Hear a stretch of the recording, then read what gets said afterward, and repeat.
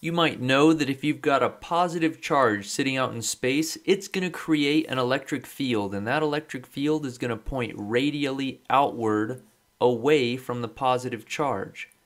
And you might know that if you've got a current in a wire, that current is going to create a magnetic field, and that magnetic field is going to loop around that wire. It's going to look something like this. But people started to realize there's another way to create a magnetic field besides having a current, and there's another way to create an electric field besides having charges. Turns out if you have a changing electric field in some region of space, even if that region has no current in it, by the fact that it has a changing electric field, that's going to induce or create a magnetic field. So here was a way to create a magnetic field that didn't even require a current. It just required a changing electric field in that region. And people also started to realize if you've got a changing magnetic field, that that is going to create a changing electric field. And a very clever Scottish physicist named James Clerk Maxwell realized, hold on, if this is true, if a changing electric field can create a changing magnetic field, then a changing magnetic field could in turn create a changing electric field, which could in turn create a changing magnetic field. And you can set up some sort of chain reaction here that can propagate like a wave. And you would get a wave of electric and magnetic fields that can travel outward and have sort of an independent existence now from whatever parent current or parent charge created them. So how would you create a changing electric field? You could take this charge and sort of wiggle it upside down, up and down Sounds like an antenna. That's what you could do in an antenna. That would create a changing electric field and then a changing magnetic field, and this could propagate outward. And similarly, you can have a current. How could you create a changing magnetic field? Just have this current oscillate back and forth, changing. That would create a changing magnetic field, which would create a changing electric field, and it could propagate outward, and now this wave could have its own independent existence and keep moving forward at some speed. And we call these electromagnetic waves because electro, they have electric fields, and magnetic because they have magnetic fields, and waves because they propagate outward according to wave equations and similar to all the other waves that we've seen. There is one difference. These waves don't actually need a medium. They could travel through straight vacuum. You don't need actual particles of some stuff in here. These can move through the vacuum, which is a little weird because the only thing that's waving here, the only thing that's oscillating is the value of the electric and magnetic fields. And so these are electromagnetic waves. This is a pretty horrible drawing of it. Looks a little bit more like this. These yellow lines represent the magnetic fields. These are directed up and down. They point up and down. They don't stick out up and down. I just have to draw it that way, but what I'm trying to say is that this point right here, it's not that there's a magnetic field that sticks up, it points up. And I just draw it with a bigger vector to show that at this point right here, along this axis, this axis could be, say, the x direction. So if this is the x direction, then at this position in space, there would be a relatively large magnetic field, it would point up. And this, these red lines represent the electric field. So at this point in space, there'd be a relatively large electric field, and the electric field is at a right angle to the magnetic field. So these are perpendicular. That's how this process has to happen. It's going to create an electric and magnetic field that are perpendicular to each other. So the electric field sticks out. This is pointing, think of it as out of your computer screen or your screen, whatever you're watching this on. And these electric fields back here point into the screen. And so this is in 3D. This is happening in 3D. Electric field oscillating into and out of your screen, magnetic field oscillating up and down, and the whole wave traveling to the right. So this whole thing happens, all three of these directions are at right angles. So if I imagine a, a three-dimensional axis here, so x, y, z, this would be the direction of the speed of this or the velocity of this wave. It doesn't have to point in this direction, but whatever direction it's pointing, you'd have velocity in one direction, you'd have magnetic field in the other direction, and you'd have electric field in one more perpendicular direction. All three of these are perpendicular to each other.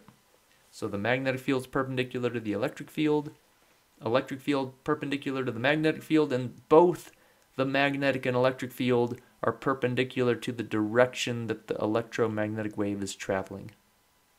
And the speed at which these waves travel is the speed of light, c. And by c, I mean 3 times 10 to the 8th meters per second because light is just an electromagnetic wave. Light is a special example, one particular example of electromagnetic waves, but it is only one example. These waves can have any wavelength. Look, from here to here. This, since this is in space, a graph of the wave in along a spatial direction, this would represent the wavelength. These waves could have any wavelength any particular wavelength and any particular frequency. The frequency would be the rate at which these change. So if you'd watch this in time, this point in space would have a magnetic field that would point up, then it would point down, then it would point up, and then it would point down, and the rate at which that's happening. The number of times per second would be the frequency. These waves could have any frequency, but for one special region, the region is the visible spectrum. So we call the region of frequencies and wavelengths that electromagnetic waves can have, the electromagnetic spectrum, and there is a lot to learn about the electromagnetic spectrum. Let me just show you really quick. If we pretend we're graphing here along this line, higher frequency. So let's say in that direction, this is pointing higher frequencies to the right. In other words, higher hertz, since that's what we measure frequency in. But if that's higher frequency, because of this formula, speed of a wave is lambda times frequency, wavelength times frequency. If the frequency increases, the wavelength has to decrease. So in this rightward direction, this would be smaller wavelength. And wavelengths measured in meters, but when you're talking about light, since you have such small wavelengths, you often talk about nanometers. So where would the visible spectrum be? The visible spectrum would just be this little smudge here in our range. This would be the this whole thing is called the electromagnetic spectrum.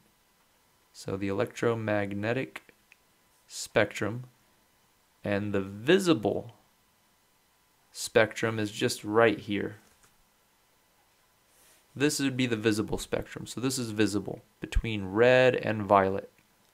And red is, if I ask you what frequency that is, that would be around 4 times 10 to the 14th hertz and violet would be around 7.5 times 10 to the 14th hertz. Or if you wanted to talk about wavelength, red would be around 750 nanometers, and violet would be around 400 nanometers, and by nano, we mean 10 to the negative ninth. Okay, but this is just a small region. You can have higher frequencies than violet, and what do we call those? We call those ultraviolet. And we know these are bad for us. And they're bad for us because as we go to the right here, higher frequency, turns out this also means more energetic light. So if you were to talk about the photons, that make up this light. If you're talking about it quantum mechanically, those photons, as you go forward higher up into the frequencies, have more energy. That means they're more dangerous. And they're more dangerous because if they have more energy, they can add that energy to your cells and break them apart and cause damage. And so this causes problems as you go further out this way. So we put on sunscreen to protect ourselves from ultraviolet light. But this isn't the highest frequency. You can have much higher frequencies. You can have X rays. X rays are even higher frequency, even more dangerous, which is why X ray technicians, you go in there and they're like, hey, stand right here. I'm going to get your X ray while I hide behind this wall. Because if they had to sit there and take that X ray every single day, it would really be bad for them. But this isn't even the highest. You've got things called gamma rays. And gamma rays are unbelievably energetic light. And these are very dangerous. This happens, these come from space or from some sort of nuclear reaction. These are extremely dangerous, gamma rays. That's why you always hear them in comic, comic books. When people want to blame like why some hero was created, they say, oh, that was a gamma ray, because it just sounds really powerful. It won't turn people into superheroes, but it's very energetic. Then down here, you've got infrared. So this would be below red. You couldn't see this either. It'd be infrared. And then below that, you've got microwaves. And microwaves, in this region, there's lots of useful stuff. Your cell phones, signals are in the microwave region. TV signals that are sent through the air in the microwave region. This is used for a lot of cases. And then below this, you've got radio waves. Even though technically speaking, FM radio waves are more in the microwave region, these are more like AM. So when people started first making radio, they used frequencies down here, and that was the AM frequency range. So this is the electromagnetic spectrum. The visible range is a small region of it. We can't see anything outside of that, but these are extremely useful in a lot of different cases and dangerous, so you need to know about the electromagnetic spectrum.